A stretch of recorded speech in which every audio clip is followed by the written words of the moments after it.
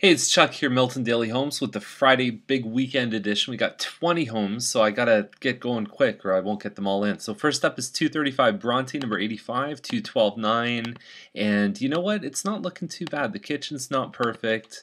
Um, there's no hardwood or laminate or anything like that, but hey, you know what? This is an active price range. Maintenance fees are 278. They include water and the normal stuff, so I uh, I like it. You know, it's below what other ones are selling for. Now this one on Maple has weird pictures pictures. It's a 1 plus a den listed at 229 and everything's stretched and sort of bizarre and you can't get a good feel for the room sizes. So um, that might hurt them, but to be honest, there's a lot of demand to live in this building, so I don't think it'll really affect them. They're probably going to sell it anyway. So 165 maintenance fees, again, water and the common stuff there.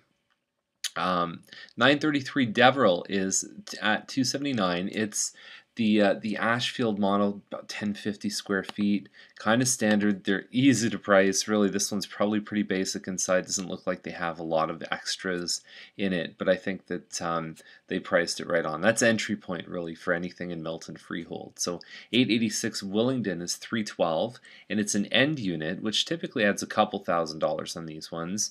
And it says there's hardwood on both uh, or on in the great room and dining room. So on the second floor above the garage is where most of the living area is. So you've got hardwood there. And uh, Moonseed, I'm not sure how big that one is. Um, but again, I mean, I think that uh, they're starting to creep up those ones. 1132 Tuppers, 324.9, and nice looking home inside. Really nice and open. There's the island here. They put the couch right up to it. Uh, small Eden area there, and uh, and then they moved it for that other kitchen picture. Um, everything looks really nice in this one. Three bedroom, three washroom, July possession, and uh, 1710 square feet. Hey, I'm feeling it. I like it. I think it's pretty good. Uh, 1296 Costigan is by the the uh, building that they built there. Uh, three bedroom, three washroom. Not as big of a fan of this one here. I find it looks really cramped inside. All you've got is this sort of L-shaped room and then the kitchen here. So functionally, it's a little bit smaller than the other one, 1660 or something like that. But I just find it doesn't really flow as well. Um, so yeah, I think uh, overall I would take the, the previous one on Tupper any day. Now this one on Shortreed looks great. It's a Hillsview end, 1510 square feet with a finished basement here. Shortreed's a nice street. There's three-story townhomes across the street, but overall I find the neighbors are good. It's very quiet, especially in this little pocket here. Tons of pot lights. You got a nice looking kitchen, stainless steel appliances, although the fridge looks reflectively like it's white, but it's stainless steel.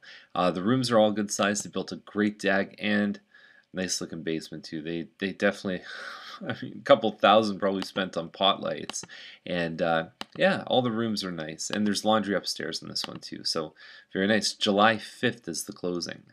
And uh, actually, the other nice thing about Shortreed is it's a couple doors down from a park. Now, 1115 Bonin, 369, four bedrooms, semi-detached, and the world is slowly tipping over. Um, yeah, I don't know. Agents, you guys gotta uh, I, I, hire a photographer. You know, if you can't take good photos, take a or hire a photographer. So 862 Luxton.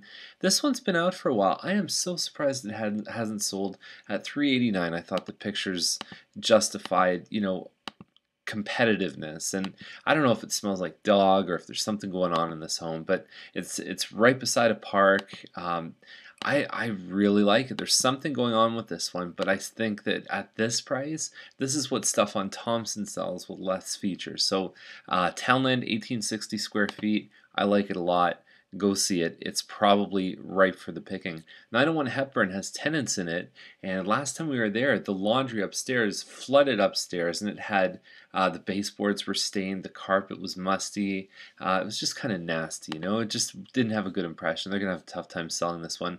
Southbury, 1987 square feet. It's got a nice layout, um, but it yeah at that price looks good. Hepburn's busier, but it just it doesn't show well at all my client said, Chuck, let's get the heck out of here when we were about halfway through.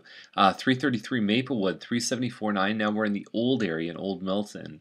Uh, three bedroom, two washroom, immediate possession. I believe it's vacant with a finished basement, back split. So you've got the main level, couple stairs up, couple stairs down, and uh, three bedrooms. They're all looking pretty good.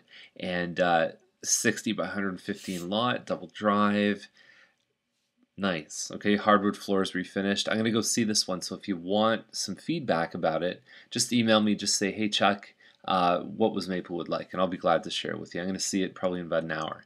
Uh, Cedar Hedge. This uh, this has been relisted. It started at 439, I think. It's down to 419. Looks pretty motivated. If you remember, I made fun of Cedar Hedge, and now I suppose I'm I'm sort of a fan of it after knowing the history. The pictures look awful. It looks like you we've all had too many drinks uh, last night, and we're looking through beer goggles here. But actually, you know what? This one is.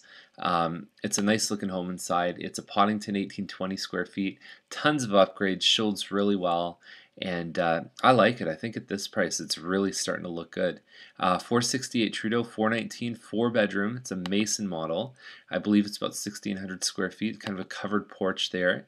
Um, like 1980s appliances, that reminds me of uh, mom and dad's old ones when I was growing up. Um, it did kind of a stone mantle here you know, this model's okay. I find it's either love it or you hate it. Uh, there's no finished basement. It's on a bit of a premium lot, overlooks the park. Uh, at 419 though, I don't know. I mean, they're they're holding back on offers. I don't think they're going to get this price. So insert foot and mouth might happen again, but I don't think they'll get it. Uh, 1337 Roper, 424.9, and this one Roper is actually looking over. So your front yard is basically seeing cars drive right by. To me, oof, it's a tough location. Um, actually, the owner used to be a real estate agent, and um, you know, nice layout inside. They did laminate floors. Um, pictures don't show 10 out of 10, but I think that it has a lot of value. But they're gonna have a tough time, even if this at this price, double garage, all that stuff. Real tough time with this one.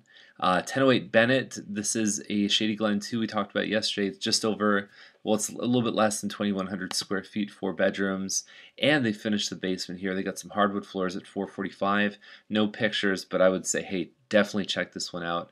Looks really good. Uh, 201 Ellis. Now, this is one of the best uh, lots, I think, in the entire neighborhood. Ellis Crescent here, okay? And then you've got the home is right here, and you got a park beside with a couple soccer um, soccer fields. You got a pond in the back. They paid 25000 for it uh, double car garage, five bedrooms in this one, and I pff, go see this one. I love it. I definitely, uh, if I have a client for this one, I would take it and take them in a heartbeat. Uh, 371 Alexander 549.9, and a little bit cluttered in the kitchen. The floors are on diagonal. Um, this is a relist, I believe, and it's on the good part of Alexander. Uh, what I mean by that is when you look at uh, Alexander, half of it really sucks because it backs onto James Snow, and this one is around the bend. It's on this side here. Okay, so finished basement on this one, and about 2,500 square feet.